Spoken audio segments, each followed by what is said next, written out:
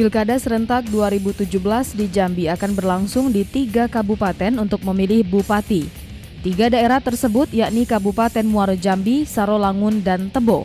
Untuk memastikan pengamanan berjalan baik, Kapolda Jambi Brigjen Pol Yazid Fanani Kamis pagi memeriksa semua persiapan pasukan pengamanan di lapangan hitam Mapolda Jambi.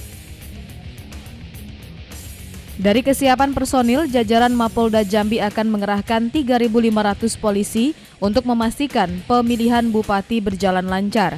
Kapolda juga memeriksa sejumlah peralatan penunjang untuk pengamanan. Siap. Siap. Benar nggak? Siap. Sudah sudah pintar. Bisa diuji juga. Siap. Udah pintar-pintar. Tameng sekatnya maju juga. Tameng sekatnya maju. Tameng sekatnya maju. Tameng sekat. Nah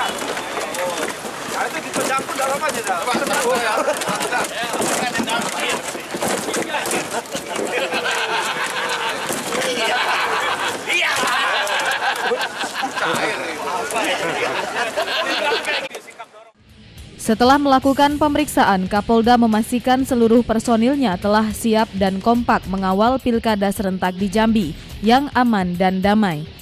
Terkait adanya potensi gangguan di sejumlah titik rawan konflik, Kapolda memastikan telah melakukan upaya deteksi dini dengan menerjunkan personil bidangnya masing-masing.